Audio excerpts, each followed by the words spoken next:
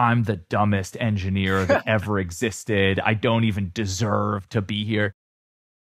If there's a critical safety incident, and here I'm reading from the report, that poses material risks of death, serious injury, or loss of control over the system, they must disclose that within 24 hours to public safety authorities. I think them calling out loss of control over these systems explicitly, I think is the most interesting piece here, right?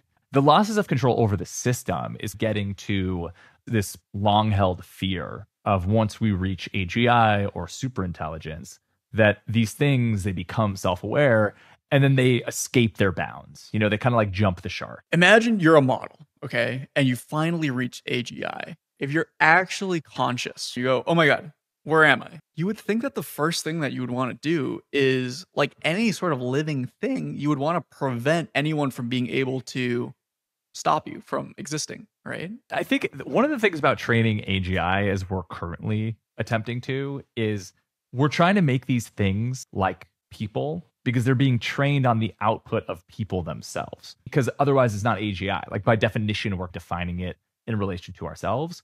I think this seems like an outrageous. It feels so sci-fi. It's literally something out of like Blade Runner. You know, yeah. Dario um, calls the cops. You know, yeah. I think what we've seen thus far is that at least some element of when models really get funky, start acting weird, or like you see sometimes Gemini will get into a doom loop where if it doesn't solve some bug, it will be like, I'm the dumbest engineer that ever existed. I don't even deserve to be here. And it, it you could argue that that's a little human like.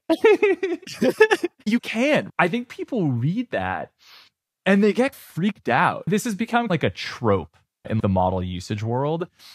And on one hand, that's really creepy because you're like, oh my God, are we already trapping these like artificial neurons in a box and making them serve us? I've heard this theory before. It's like this like self-fulfilling prophecy theory where it's like if we generate arguments that a model will have this behavior, that data that we generate, like those stories or those fears, go into the internet inevitably. And the model could train on that literally what I just said, right? Because we're worried that that happens, we say that the model picks up on it, learns, and then that actually happens. Yeah, that's right. it's a it's a self fulfilling prophecy hypothesis, which is yeah, maybe we shouldn't say anything. Yeah, that's right. that's exactly right. Cut that. Let's cut. All right, podcast part. over. But we're okay. But we're going down a little bit of a. Of I'm, a I'm seeing the here. SFPD me... out my window right now, dude. They're coming for us.